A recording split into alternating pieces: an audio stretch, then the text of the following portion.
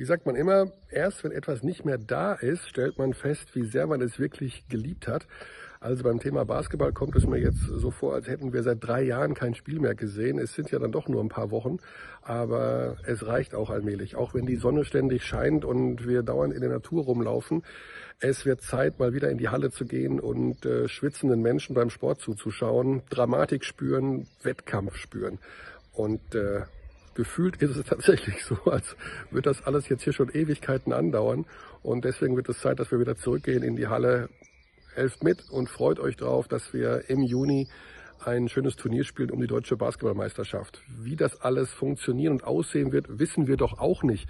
Aber wir glauben, dass es klappt. Bis dahin.